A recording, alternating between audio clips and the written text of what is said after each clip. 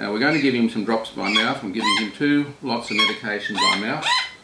The first one is moxidectin and that is the maiden treatment for the leg condition the mite infestation that where the mites are burrowing in the in the beak so in the in the feet so the first thing is get him to grip onto something just use it as a fulcrum then open his beak at the tip of his beak like that with your fingers.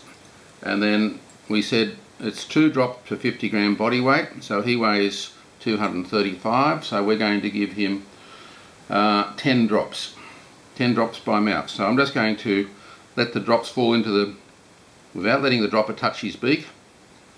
One two three four five six seven eight nine ten okay and then we're just tilting his head back a little bit and letting that run down to the back of his throat. So moxidectin will go through, be absorbed from the intestine, it will treat parasites in the bloodstream if he's got any microfilaria similar to heartworm, only the bird equivalent. Um, it will often treat that. It will treat intestinal worms and it will treat the burrowing mites. It doesn't treat the, um, the mites that are running in the feathers um, very well. So that's why I use the spray as well for that. I'm also going to start him on some what I'll call detox, uh, a solution of zeolite. Uh, zeolite um, binds heavy metals and some other toxins and things. Uh, that's going to give me one, two, three, about four, and five, starting with there. Okay, and we can do that.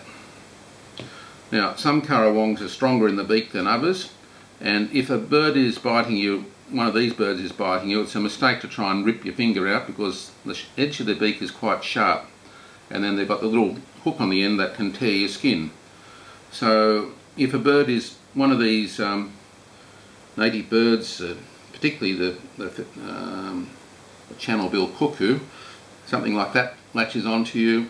The trick is to put something in the like that into the corner of the beak, slide it towards the thing, open the beak and take your finger out and you haven't got a tear and you haven't got a cut finger as a result. So that's just a bit of a technique for handling birds with uh, sharp edges. The cormorants, many of the seabirds have got razor edges to their beaks for catching fish and a lot of other birds have pretty painful beaks if they latch on. Uh, that's a trick for getting yourself out of trouble there.